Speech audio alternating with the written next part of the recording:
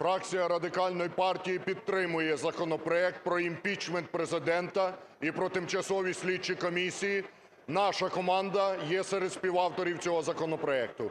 Президент, незалежно від його прізвища, повинен бути підконтрольний громадянам і закону. Але цього недостатньо. Наступні рішення, які має прийняти парламент невідкладно, це про скасування недоторканності Президента, депутатів і суддів.